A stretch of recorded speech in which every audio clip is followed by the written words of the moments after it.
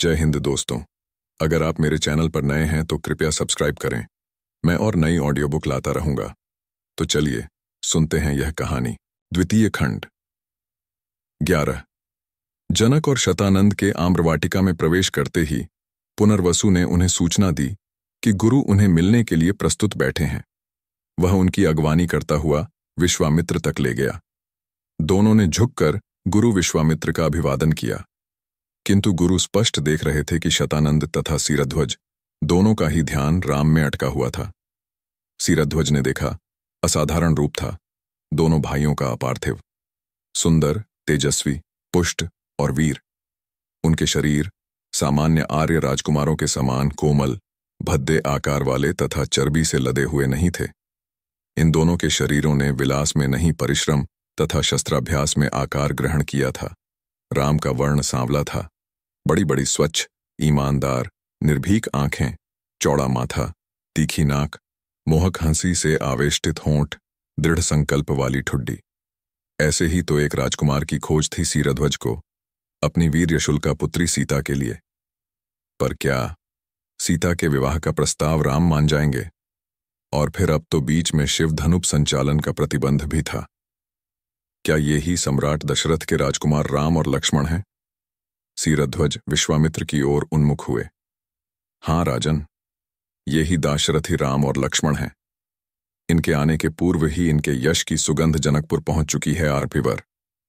सीरध्वज अत्यंत नम्र स्वर में बोले, यदि अपने मन की बात कहूँ तो आपके जनकपुर आने से तो मैं धन्य हुआ ही हूँ।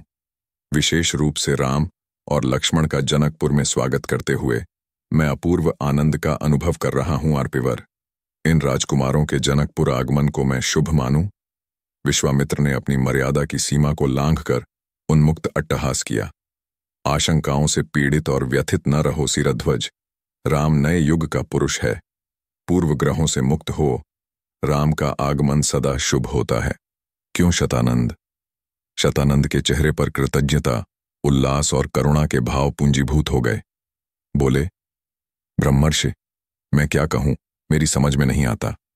मैं तो इस चमत्कार से चमत्कृत हूँ। ऐसा अद्भुत कर्म और ऐसा अद्भुत पुरुष मैंने पहले कभी नहीं देखा। फिर इनका वय देखकर और भी विस्मित हो जाता हूँ। कुमार वय और ऐसा चमत्कार। राजपुरोहित, लक्ष्मण बोले, ऐसे अनेक चमत्कार और होंगे। भैया राम सचमुच अद्भुत हैं।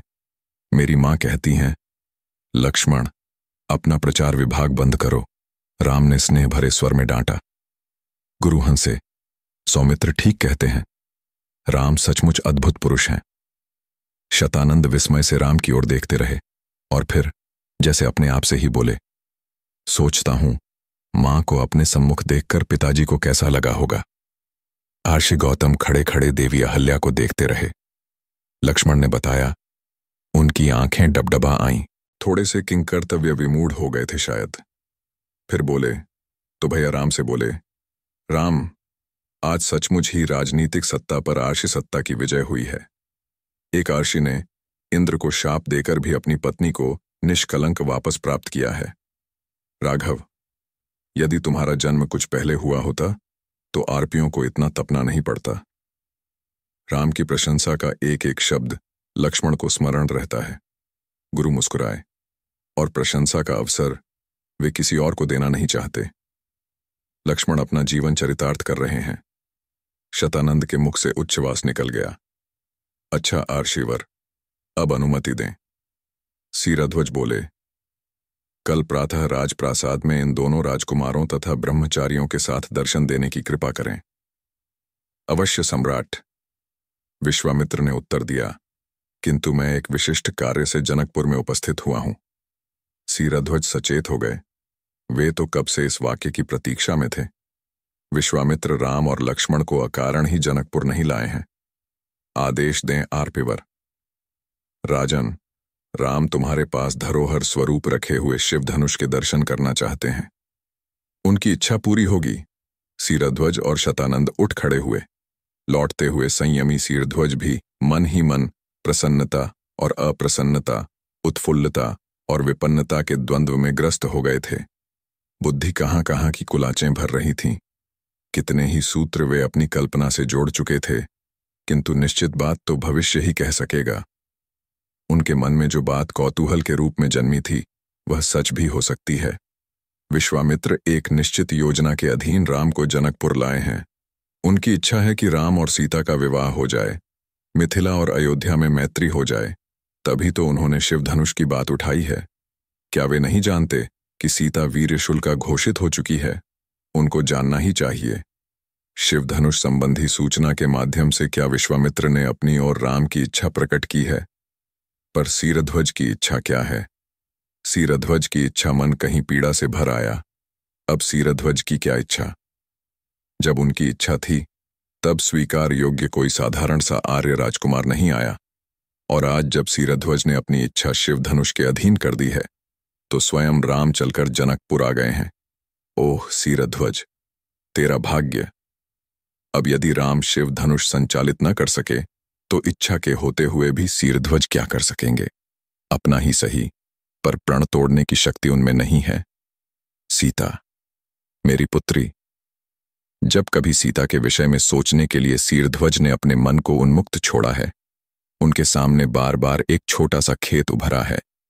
उस खेत की मिट्टी पर एक नवजात बच्ची पड़ी ज़ोर ज़ोर से रो रही है।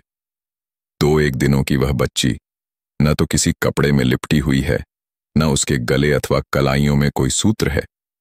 किसकी है यह बच्ची? इसे कौन छोड़ गया है यहाँ? कोई सूचना नहीं, जानने का कोई स्रोत भी नहीं। इस समय बच्ची धरती की गोद में पड़ी है, उसी की पुत्री है, और कोई नहीं है उसका। राजा झा से बच्ची उठा ली जाती है। राजा को खेत में हल जोतने की प्रथा पूरी करनी है। बच्ची को खेत में पड़ी रहने नहीं दिया जा सकता। किंतु राजा देश से बच्ची के उठा लिए जाने मात्र से कार्य पूरा नहीं हो सकता। बच्ची के पालन पोषण की कोई न कोई व्यवस्था करनी होगी। किसका दायित्व है यह? माता पिता का। किंतु यदि माता पिता संतान को इस प्रकार खुले खेत में छोड़ जाएँ, तो पर क्यों छोड़ गए माता पिता उन्हें अपनी संतान से प्यार नहीं। वह कौन सी मजबूरी थी? कोई भी मजबूरी रही हो। ऐसी मजबूरी के लिए उत्तरदायी कौन है? देश का राजा। हाँ, देश का राजा। जिस देश के माता पिता अपनी किसी मजबूरी के कारण अपने नवजात शिशु को खेत में छोड़ जाने को बाध्य हों, उस देश का राजा अवश्य ही प्रजापालन के अपने कर्तव्य से स्खलित हुआ है। उसे अपने दायित्व का बोध नहीं रहा। अच्छा किया इस बच्ची के माता पिता ने। बच्ची को यहाँ छोड़ गए। राजा को अपने दायित्व का बोध तो हो। अब राजा अपना दायित्व पूरा करे। वह इस बच्ची का पालन पोषण करे। बच्ची राजाश्रय में पलने के लिए राजप्रासाद में आ गई। पर सीरध्वज सम्राट ही नहीं, एक व्यक्ति भी था। उस व्यक्ति के वक्ष में पिता का हृदय था। संतान के अभाव में पिता का हृदय भूखा था। सीता राजाश्रय में पलने वाली भूमिपुत्री थी। राजा भूमिपति होता है। भूमिपुत्री का पिता सीराध्वज ही हो सकता था। सीराध्वज बच्ची को देखता है। बच्ची उसे बार बार आकर्षित करती। बार बार सीराध्वज के मन की ममता उबल उबल कर उसे बाध्य करती। एक रोज सीराध्वज ने बच्ची को हृदय से लगा लिया। मेरी बच्ची, सीता सुनैना की गोद में डाल दी गई। सीता सम्राट सीराध्वज जनक की राजकुमारी थी। वह राजसी संस्कारों में पल रही थी, किंतु साथ ही वह व्यक्ति सीराध्वज की पुत्री भी थी। पिता पुत्री एक दूसरे को अच्छी तरह समझते थे। सीता युवावस्था की ओर बढ़ रही थी।